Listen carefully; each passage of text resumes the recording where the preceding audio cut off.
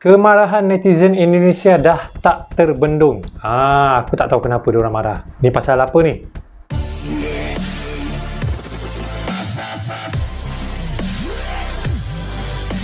Hello guys, Assalamualaikum. Welcome back to my channel. What's up Indonesia? What's up everybody? Syukur Alhamdulillah bertemu lagi kita di channel aku iaitu Cairo Channel. So guys, macam biasa, sebelum aku mulakan reaction video, aku akan sentiasa mendoakan kepada semua yang sedang menonton. Semoga korang semua berada dalam keadaan baik, dipermudahkan segala urusan dimurahkan rezeki dipanjangkan umur guys. Amin amin. Amin ya rabbal alamin. Okey guys. Kemarahan netizen Indonesia tak terbendung. Berita viral terbaru. Ni pasal apa ni? Okey sekejap eh. Aku cari di description ni hmm, berkenaan dengan badminton. Okey kalau nak tahu lebih lanjut kenapa netizen Indonesia sangat-sangat marah dengan persekutuan badminton dunia? Tengok video ni Okey guys, sebelum kita mulakan video ni adalah daripada YouTube channel Anak Bangsa. Okey, kita mulakan dalam kiraan 3, 2 dan 1.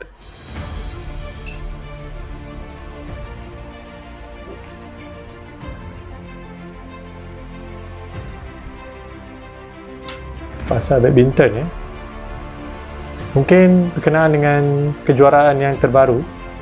Okey, baru beberapa hari lepas berakhir iaitu All England. Sebab itulah uh, pasukan daripada Indonesia tak ada tau. So sekarang kita tengok apa sebab dia. Akun Instagram resmi All England hilang. Ulah netizen Indonesia. Sampai macam tu sekali Dipaksa mundurnya tim bulu tangkis Indonesia dari All England 2021 menimbulkan kegemparan di masyarakat Indonesia. Para netizen tanah air merespon kekecewaannya dengan menyerang sejumlah akun. Oh. Dua akun yang paling banyak jadi sasaran caci maki dan ungkapan kekecewaan masyarakat adalah Instagram Federasi Bulu Tangkis Dunia atau BWF serta All England. Fenomena serbuan oh. netizen Indonesia hingga kini masih berlanjut. Setiap kali BWF mengunggah foto terbaru, maka kolom komentar mereka dipenuhi dengan seruan kekecewaan masyarakat Indonesia. Belakangan serangan dari netizen Indonesia menimbulkan korban.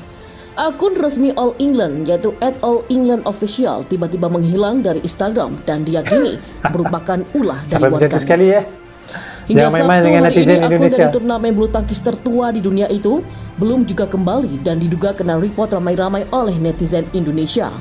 Oh. Saat kita mencoba menelusurinya di Instagram, hanya pesan, maaf, halaman tidak tersedia, disusul keterangan tambahan. Tautan yang Anda ikuti mungkin rusak atau halaman mungkin telah dihapus. Demikian pesan Instagram saat kita coba membuka akun All England Official.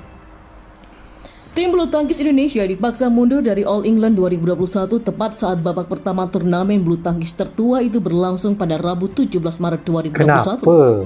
Hal itu dikarenakan salah satu penumpang-penumpang di pesawat yang ditumpangi tim Merah Putih dari Istanbul ke Birmingham pada Sabtu kemarin dinyatakan positif COVID-19. Oh.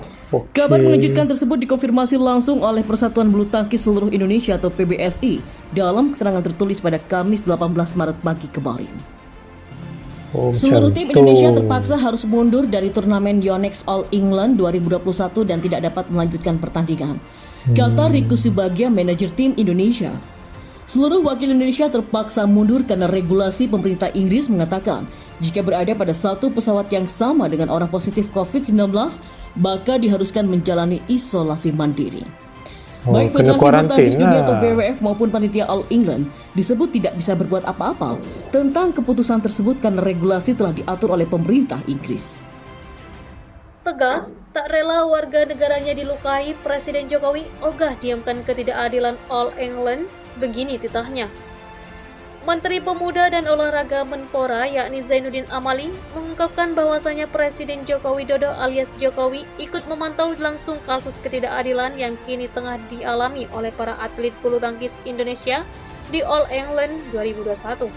Adapun keingintahuan Presiden Jokowi atas kejadian di All England tersebut jelas bukanlah tanpa alasan. Menurut hmm. keterangan Zainuddin dalam desain besar olahraga Indonesia, Bulu tangkis memang menempati posisi teratas dari 14 cabang olahraga unggulan. Jadi kami sangat berkepentingan dan konsentrasi membela ini. Ujar Menpora sebagaimana yang dikutip terkini.id dari CNN Indonesia pada hari Jumat 19 Maret 2021. Sebagai warga negara terlukai, upaya Ibu Menlu Menteri Luar Negeri Retno Marsudi luar biasa dimonitor langsung Bapak Presiden. Jelas Menpora Zainuddin dalam konferensi pers di kantor Kemenpora hari Jumat ini. Ia juga menyampaikan bahwasanya Sampai Presiden Jokowi telah Pak Jokowi, memberi ya. titah agar lekas melakukan langkah terbaik.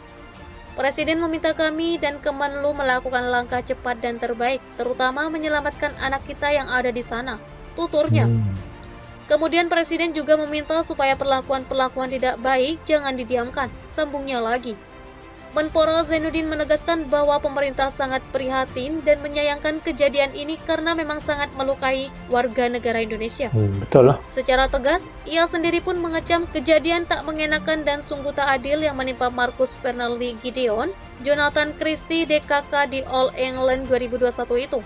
Menpora meminta perlakuan yang adil serta transparan atas tim badminton Indonesia yang dipaksa mundur dari All England usai mendapatkan notifikasi dari otoritas kesehatan NHS National Health Service milik pemerintah Inggris.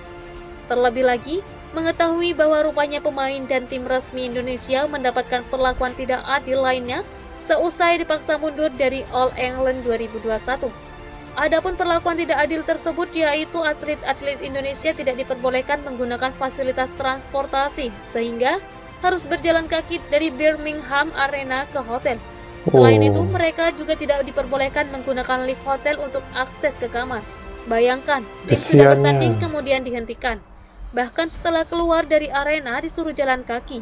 Biasanya disiapkan bus, naik lift tidak bisa. Ini sesuatu yang diskriminatif. Terang layanan yang ketara kecewa. sangat teruk. Apa penilaian saya? BWF tidak profesional. Kemudian BWF tidak transparan. BWF diskriminatif karena cukup buktinya. Saya berani mengatakan kami sangat kecewa. BWF tidak boleh buang badan berlindung dalam aturan di Inggris. Tutupnya. Sejumlah negara terus beri dukungan untuk Indonesia usai dipaksa mundur dari All England. Asosiasi Badminton Cina (CBA) ikut kecewa dengan insiden yang dialami tim Indonesia yang dipaksa mundur dari All England 2021. Hal itu diungkapkan Presiden Badminton Asia Confederation (BAC) Anton Subawa kepada Ketua Umum PBSI Agung Firman Sampurna. Agung mengatakan terlepas dari insiden yang tidak sesuai harapan, ia memastikan tim Indonesia mendapat dukungan penuh. Bahkan bukan hanya dari pemerintah dan masyarakat Indonesia, tapi juga dari negara lain.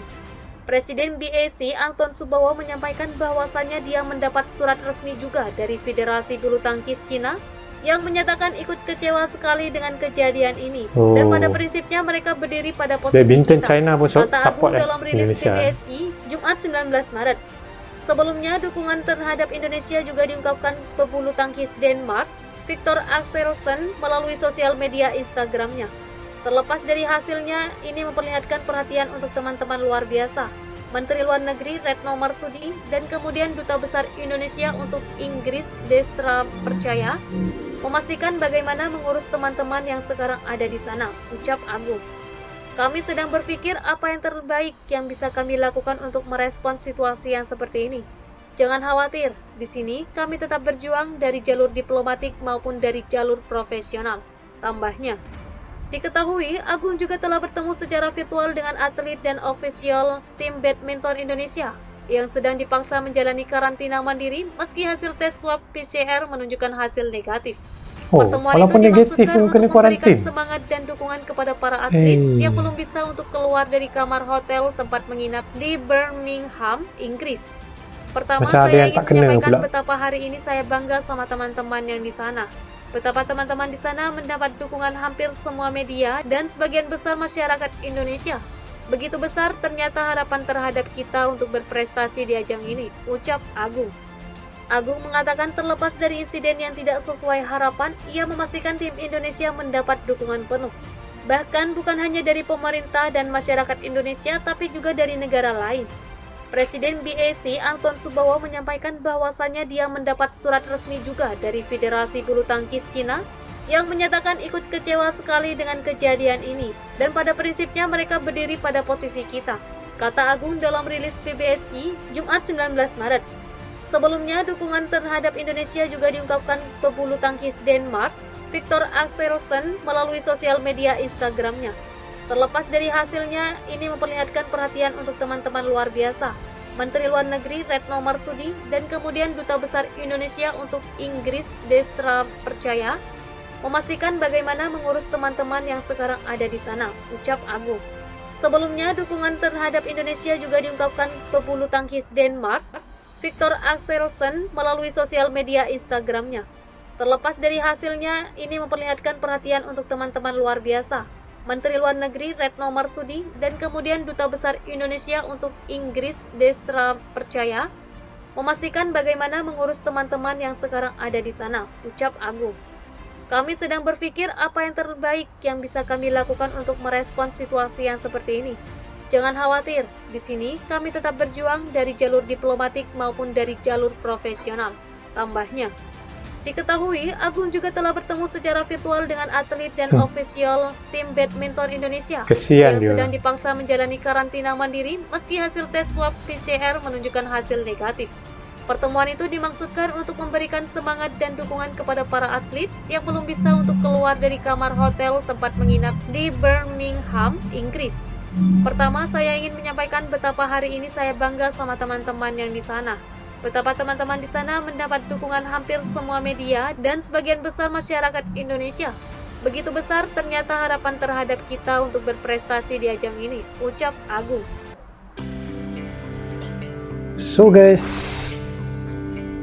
aku dah faham lah kenapa dia punya title Kemarahan Netizen Indonesia Tak Terbendung.